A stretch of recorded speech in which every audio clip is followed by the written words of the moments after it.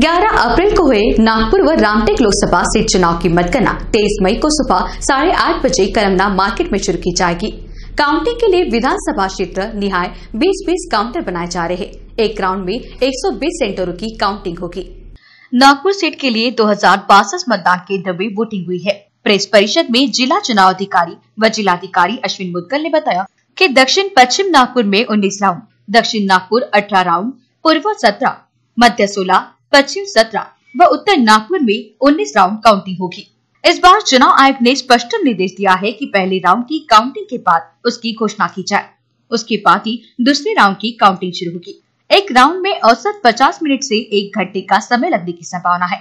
मतलब इस बार नागपुर सीट का फाइनल परिणाम रात दो से तीन बजे तक ही मिल पाएगा।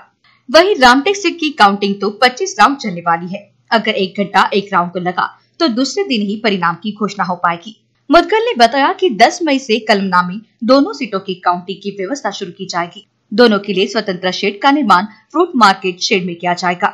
मुदगल ने बताया कि सुबह आठ बजे पोस्टल बैलेट की गणना होगी। उसके बाद साढ़े आठ बजे ईवीएम काउंटिंग की राउंड शुरू होगी।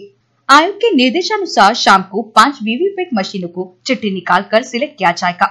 फिर उस ईवीएम व वीवीपैट की काउंटिंग की जाएगी। चिट्ठी आर निकालेगी। वीवीपैट के लिए विशेष काउंटर बनाए जाएँगे। ऐसी ईवीएम मशीनें जो बटन दबाने के बाद भी परिणाम डिस्प्ले नहीं करता, उन्हें अलग रखा जाएगा। ऐसा तब होता है जब मतदान समाप्ति के बाद क्लोजिंग का बटन नहीं दबाया गया हो। अंत में ऐसी मशीनों की काउंटिंग की जाएगी। मॉक पोल का डाटा जिस ईवीएम से नहीं हटाया गया हो, वहाँ वीवीपैट की काउंटिंग की जाएगी।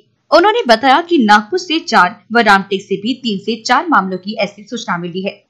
सिक्स फॉर्टी बी रिझल्ट प्रस्तावित आहे तर स्थितीमध्ये त्या दिवशी जे त्यांनी मला सांगितला एकशे चाळीस पर्यंत वीज अधिग्रहण केलेले आहे आवश्यकता आणखी आवश्यकता भासल्यास आपल्याला प्रायव्हेट वीज अधिग्रहण करता येईल टँकरच्या बाबतीत सूचना एक आणखी अशी दिलेली आहे की जे काही टँकरच्या ज्या फेऱ्या त्या ठिकाणी होती त्याच्यावरती जीपीएस लावायला पाहिजे आणि जीपीएसच्या आधारावर त्याचे जे पेमेंट्स आहेत ते केले पाहिजे. ते सूचना आपण गट विकास अधिकाऱ्यांना केलेली आहे. ग्रामीण भाग झाला. काउंटिंग स्थल की तीन स्तरीय सुरक्षा व्यवस्था की गई है। भीतर मोबाइल ले जाना प्रतिबंधित है। मीडिया के लिए मीडिया सेंटर तक मोबाइल ले जाने की अनुमति पर विचार किया जा रहा है। कलेक्टर ने बताया कि रामटेक सीट की काउंटिंग में 25 राउंड होंगे। इसमें काटोल विस क्षेत्र के 17, सावनेर 19, हिंगना 22, उमरेड 20, कामती 25 और रामटेक 18 राउंड की काउंटिंग होगी। परिसर में फायर ब्रिगेड, एंबुलेंस, भोजन पानी आदि की व्यवस्था की जाएगी। 10 मई से इसकी तैयारी शुरू हो जाएगी।